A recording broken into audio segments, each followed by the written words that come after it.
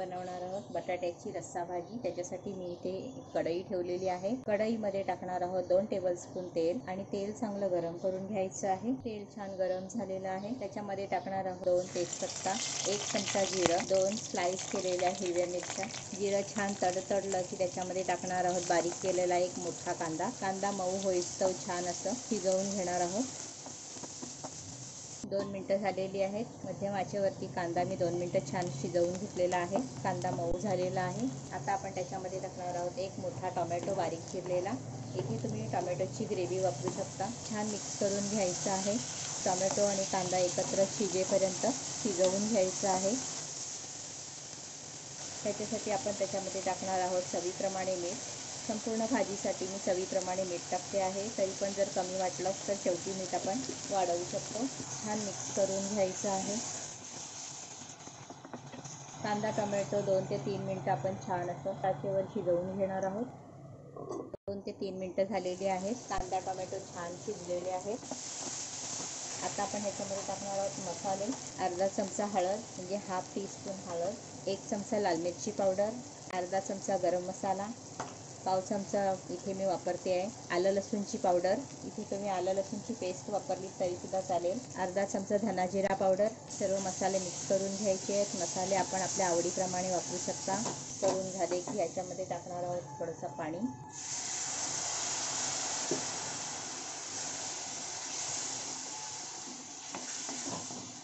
त्यातच मी टाकणार आहे अर्धा चमचा सोपची पावडर बडीसोप पावडर.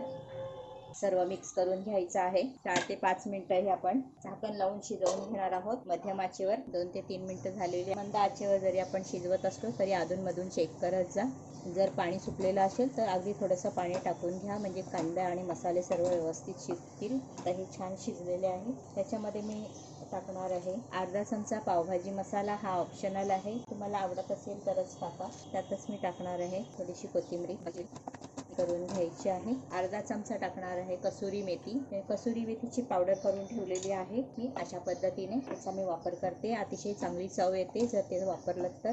त्याच्यात तुम्हाला लागेल तेवढं तुम्ही पाणी वापरू शकता. ते मी एक ग्लास पाणी वापरते. आता ह्या संपूर्ण मिश्रणाला चांगली उकळी येऊ द्यायची गॅसची फ्लेम हाय करायची आहे. हाय फ्लेमवरती एक छान उकळी काढून घ्यायची आहे. ह्याला छान उकळी काढून घेतलेली आहे.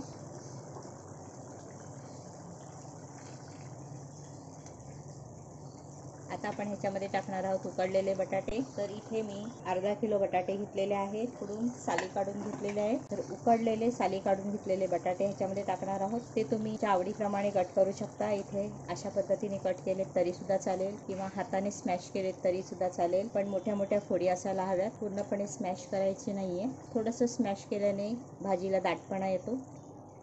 आणि छान मिक्स करून घ्यायचं आहे. असा चमच्याच्या सहाय्याने जरी तुम्ही स्मॅश केलं तरी सुद्धा चालेल. आता ही भाजी आपण दहा मिनटं मंद आचेवरती शिजवून घ्यायचे म्हणजे बटाट्याच्या आतमध्ये मसाले चांगले मुरतील. मिनटं झालेली आहेत. पहा मस्त तरी आलेली आहे. छान तेल सुटलेलं आहे. ह्याच्यामध्ये आपण दह्याचा वापर वगैरे केलेला नाही किंवा कोणत्याही प्रकारे वाटणाचा वापर केलेला नाही आहे तर फक्त ही बटाट्याची भाजी केलेली आहे कांदा टोमॅटोमध्ये आणि चटपटीत मसाले वापरलेले आहेत. मस्तच खमंग सुटलेला आहे. आता मी सर्विंग प्लेटमध्ये काढून घेते. गॅसची फ्लेम बंद करते. थोडंसं कोथिंबिरीने सजवते आणि सर्विंग प्लेटमध्ये काढून घेते.